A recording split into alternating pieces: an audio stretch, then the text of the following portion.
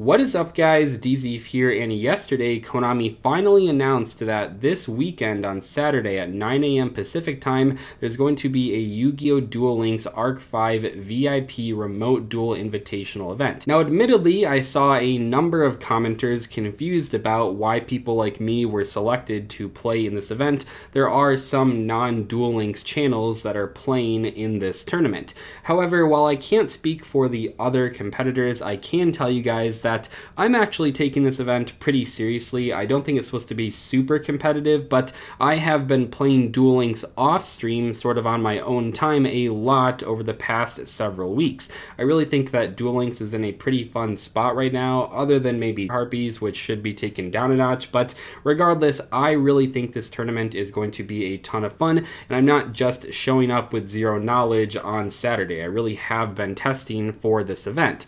Will that translate into wins, I mean, I have no idea, but I am giving it my all. I really do promise you guys that I'm not just entering this tournament for the hell of it, I really am trying my best. Anyway, I wanted to make this video because over the past few weeks, but also just in general as I've played Duel Links over the years, I've really been thinking about how Duel Links manages to fix archetypes that were really bad in the TCG. There have honestly been so many meta Duel Links decks over the years that never saw play in the TCG TCG that I can't possibly sit here and name all of them, but some of the bigger highlights in my mind are things like Red Eyes and Amazoness and Fur Hire and UA, and right now we have Harpies and Melodious.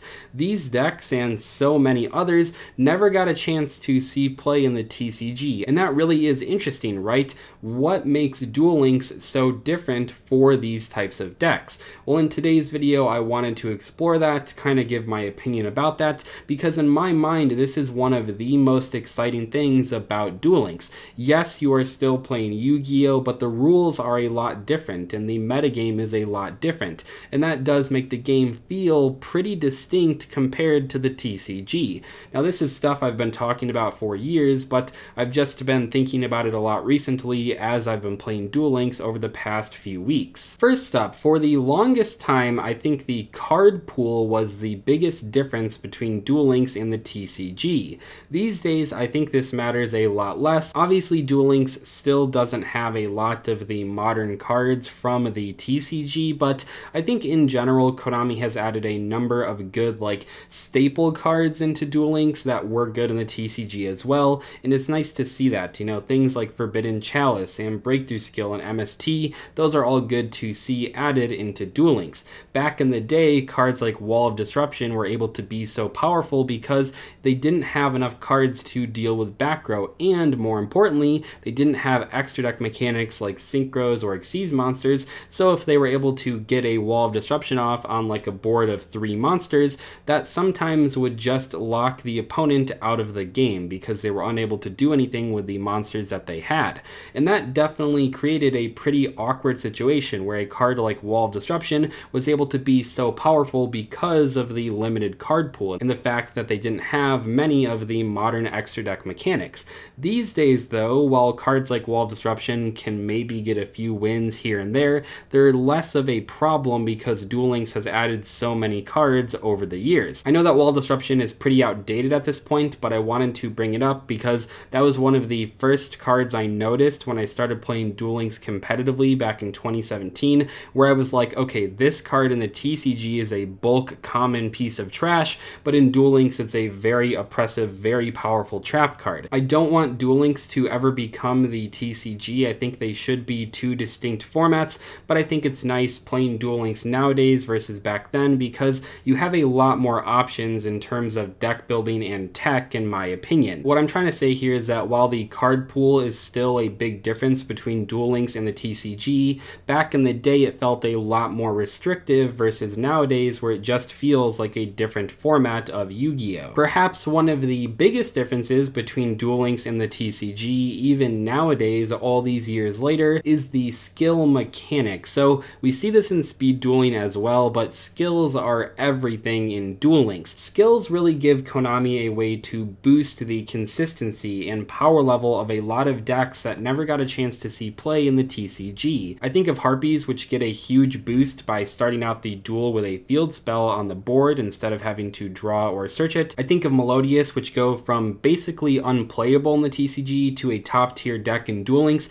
pretty much entirely because of that very powerful skill that can special summon a monster from your deck or graveyard, but there are plenty of other examples. Skills are really a great way for Konami to breathe a new life into these older, outdated decks that never had a chance to see play in the TCG, and I think that is pretty great. Now, obviously, in some cases over the years, Konami has over-tuned these skills a bit. I've complained about some skills in the past, you know, the old Cyber style skill was super annoying, the life point cost zero was pretty annoying, but overall I think skills are a cool way to make bad decks a lot better. I think the skills that are most interesting to me at least are the ones that really would never work at all in the TCG. So things that add cards from outside of your deck to your hand are really cool. Things like the Kaiba skill that adds a poly by revealing two blue eyes in your hand, that's nice. You know, you don't have to play the poly in your deck, and with that skill, it even puts the fusion monsters in your extra deck as well. I also think the aspect of having 20 to 30 card decks